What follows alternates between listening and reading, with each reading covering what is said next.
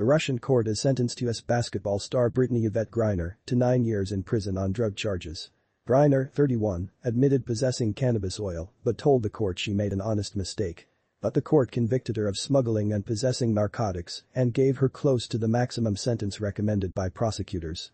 Griner is a double Olympic gold medalist and is considered one of the best players in the world. She was detained in February at an airport near Moscow when vape cartridges containing cannabis oil were found in her luggage. She had come to Russia to play club basketball during the US off-season. Soon after, Russia invaded Ukraine, and her case has become subject to high-profile diplomacy between the US and Russia. US President Joe Biden called the sentencing unacceptable. Meanwhile, US Secretary of State Antony Blinken said, Russia, and any country engaging in wrongful detention, represents a threat to the safety of everyone traveling, working, and living abroad. As Griner was being led out of the courtroom in handcuffs, Reuters news agency quoted her as saying, I love my family.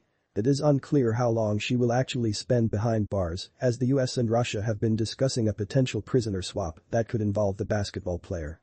Reports in US media suggest imprisoned Russian arms trafficker Viktor Bout known as the Merchant of Death could be transferred by Washington to the Russian authorities as part of the deal. Griner's defense team said they would appeal against Thursday's verdict by the court in Khimki, near Moscow. Reading the verdict, the presiding judge in Khimki said she took into account the fact that the American had already spent a considerable time in detention. Earlier, Griner told the court after both sides presented closing arguments. I made an honest mistake and I hope in your ruling it does not end my life. I did not conspire or plan to commit this crime, she added.